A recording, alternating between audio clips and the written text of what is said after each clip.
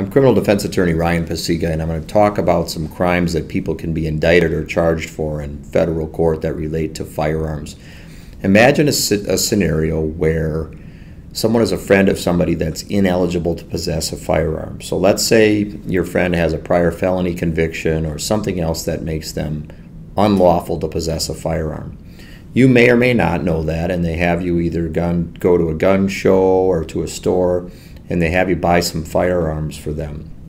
Typically, you'll have to fill out an ATF form when you buy those firearms, and you have to swear, among other things, that you are the actual purchaser of the firearm.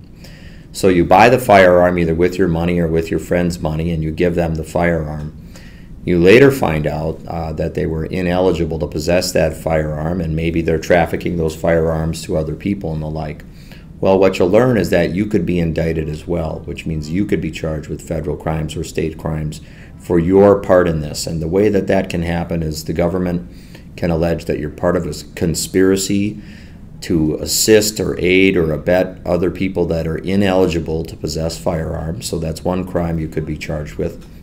Another crime you could be charged with is a dishonest disclosure on those ATF forms, basically falsely stating that you're the purchaser of the firearm. And the third thing you could be uh, indicted or charged with is being what's called a straw purchaser, which is sometimes a separate crime or other times um, just part of the ATF form charge anyway. A straw buyer means that it's somebody who really is a middleman in the buying process, but that they don't really intend to be the actual purchaser. So they'll put themselves out as the name of the purchaser, but they're not really the purchaser. So if I'm buying a, um, a firearm from a store, I buy it, then I give it to my friend.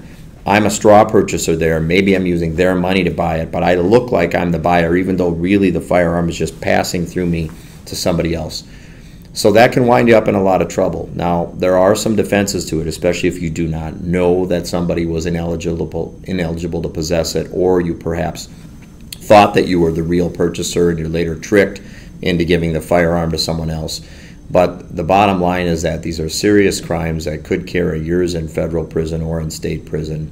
And if you're charged or accused of these crimes, or somebody wants to talk to you about some firearm purchases where you gave a firearm to someone else, you may want to talk to a criminal defense lawyer right away.